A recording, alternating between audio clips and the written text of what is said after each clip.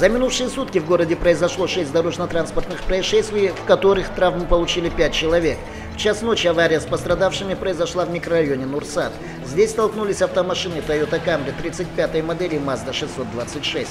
Как рассказали свидетели происшествия, Mazda ехала по главной дороге улицы Бэйди Бекби, а Toyota выезжала с второстепенной улицы, ведущей из микрорайона Нурсад.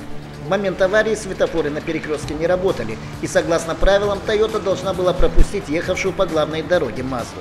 В результате столкновения травмы получили водитель и три пассажира Тойоты, которых врачи доставили в больницу скорой медицинской помощи.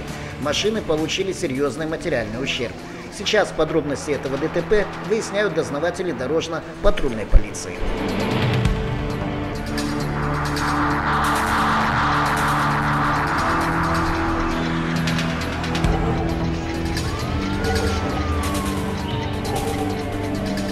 Thank you.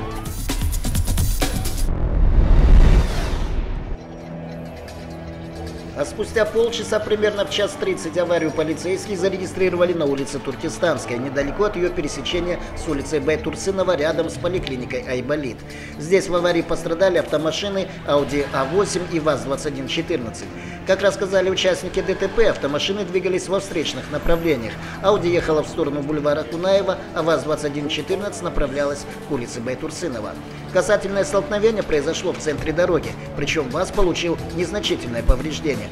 По словам свидетелей, водитель Ауди в последний момент, пытаясь уйти от удара, резко повернул вправо, но не справившись с управлением, вылетел на обочину и врезался в осветительный столб.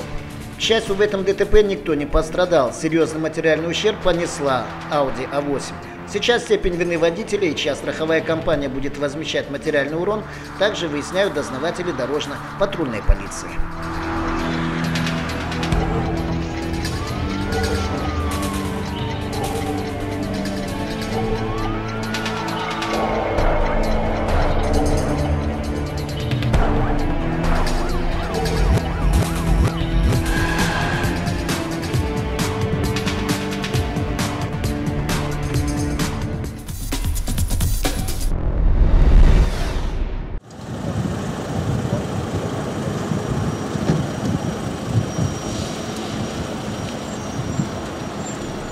А в 2 часа ночи очередная авария произошла на пересечении Тамерлановского шоссе и улицы Ахунбабаева, рядом с рынком Бигжан.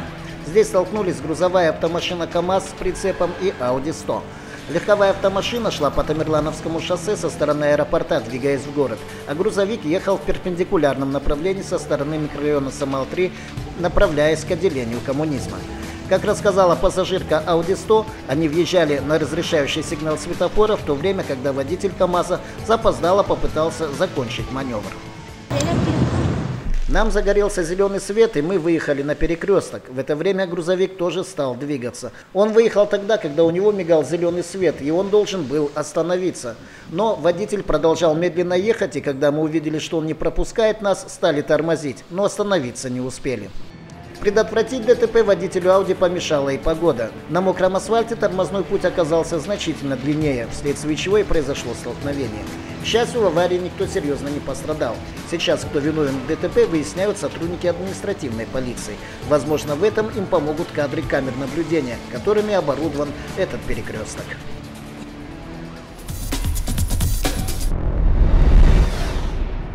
В 2 часа дня на пульт дежурного спасательного отряда поступил вызов с улицы Колдаякова. Жители одной из многоэтажек сообщили о том, что в одной из квартир находится 65-летний мужчина и, возможно, ему требуется помощь.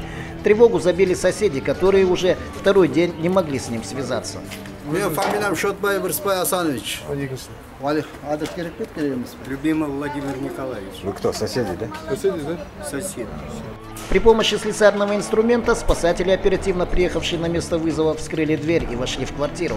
Хозяина спасатели обнаружили в постели без признаков жизни. Как предполагается, он скончался в результате сердечного приступа. На место происшествия были вызваны участковые полицейские и криминалистическая группа, которые выясняют истинные причины смерти владельца квартиры.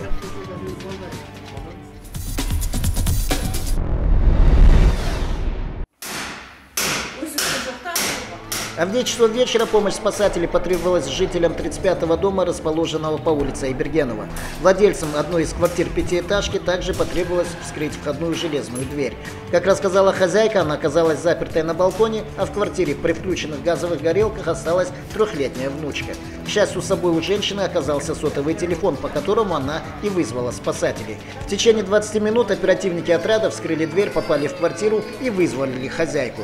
Помощь подоспела вовремя. В происшествии никто не пострадал.